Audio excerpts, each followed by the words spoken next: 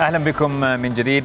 تنوي الحكومة الأسترالية تقديم مشروع قانون للبرلمان يجبر شركات التقنية على دفع المال مقابل عرض الأخبار على منصات التواصل الاجتماعي. خطوة ترفضها تلك الشركات لكنها مثار إعجاب وتقدير وسائل الإعلام التقليدية التي تعاني كثيرا في الفترة الأخيرة. نتابع تقرير الزميل محمد عنتر.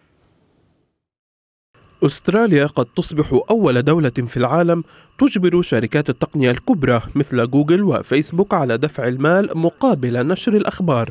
خطوة يمكن وصفها بحبل نجاة لوسائل الإعلام التقليدية كالصحف الورقية والمجلات وقنوات التلفزة والراديو.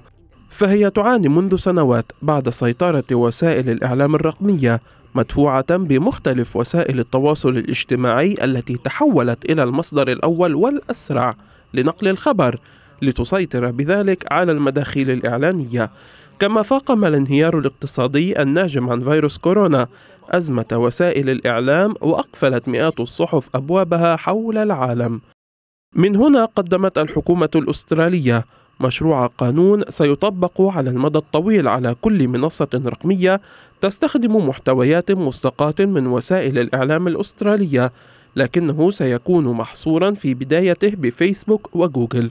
هذه الخطوة تواجه معارضة شديدة من شركتي فيسبوك وجوجل وقد لمحتا إلى أنهما قد تلجأان بكل بساطة إلى مقاطعة وسائل الإعلام الأسترالية إذا فرضت عليهما مدفوعات إلزامية وإضافة إلى إلزامية الدفع مقابل المحتوى يعالج مشروع القانون الأسترالي مسائل عدة منها الولوج إلى بيانات المستخدمين وشفافية الخوارزميات وغيرهما. للحديث أكثر حول هذا الموضوع انضم لنا من بيروت المستشار في تكنولوجيا المعلومات السيد عامر الطبش صباح الخير عامر أهلا وسهلا بك معنا بداية عامر إيش الدافع؟ ما الدافع من القانون الأسترالي لهذه الخطوة وإيش الأسباب برأيك؟ صباح الخير لك وللمشاهدين الكرام الدافع الأساسي هو الخسائر الكبيرة اللي منيت فيها وسائل الإعلام التقليدية mainstream media إن كانت ورقية أو تلفزيونات. بسبب وباء كورونا وتراجع عائدات الإعلانات إلى ما يقارب 90% إلى بعض المؤسسات وجبرت مؤسسات أخرى إنه تقفل مؤسسات إعلامية ثانية تقفل. فبالتالي الموضوع كان مطروح إنه يتم البحث فيه بشهر تشرين الثاني 2020 من ضمن القوانين اللي عم تشتغل عليها أستراليا لتنظيم قطاع الإعلام ووسائل التواصل الاجتماعي.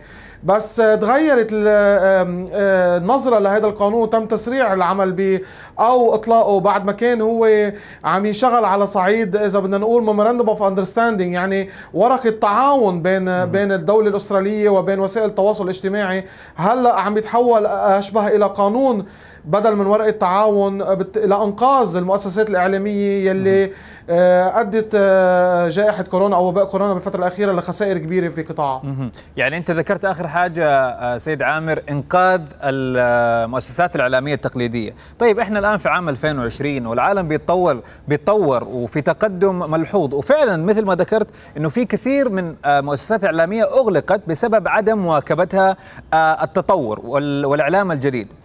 أه تتوقع أنت برأيك إنه شركات التقنية ممكن تعمل حملات مقاطعة ضد هذا القانون أو ممكن تمتنع عن الدفع؟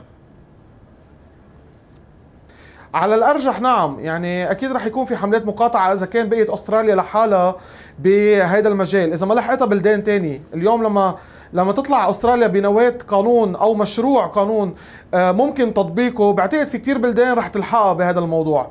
بس إذا ما لحقتها هيدي البلدان ويعني أستراليا عملت 90% من الشغل. هن البلدان بس بدها تاخذ هالمشاريع هيدي أو القانون هيدا وتطبقه عندها. إذا هالبلدان ما مشيت مع أستراليا وبقيت أستراليا لحالها فرح تكون عم بتواجه عمالقة التكنولوجيا مثل جوجل وعمالقة عملاق التواصل الاجتماعي مثل فيسبوك ما بعتقد هيدي المعركة رح تكون رابحة قليلة بالفترة الأولى لها طيب عامر الآن فعلا الإعلام التقليدي مثل ما ذكرت يعني الصحف الورقية على سبيل المثال بدأت تندثر وبدأت تنتهي فعليا. ليش يعني ألو... ليش يعني أستراليا أو الإدارة الأسترالية بتشرع هذا القانون وبتحاول تطبقه الفترة المقبلة في حين أنه خلاص العالم كله حتى الدول ورؤساء الدول والسياسيين بيستخدموا الإعلام الجديد. المفروض هم يعني بالعكس يعملوا على تجديد أو تطوير أو دعم الإعلام الجديد. أنت إيش رأيك في هذه النقطة أساسا؟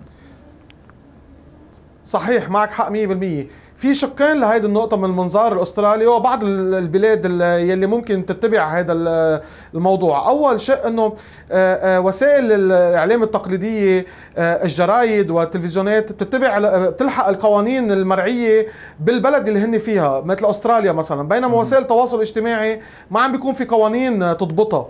فمن هون بيعتبروا إنه ال mainstream media أو وسائل الإعلام التقليدية مضبوطة ومهنية أكثر من وسائل الاعلام من وسائل الاعلام أو من وسائل من ال social media من من مواقع التواصل الاجتماعي.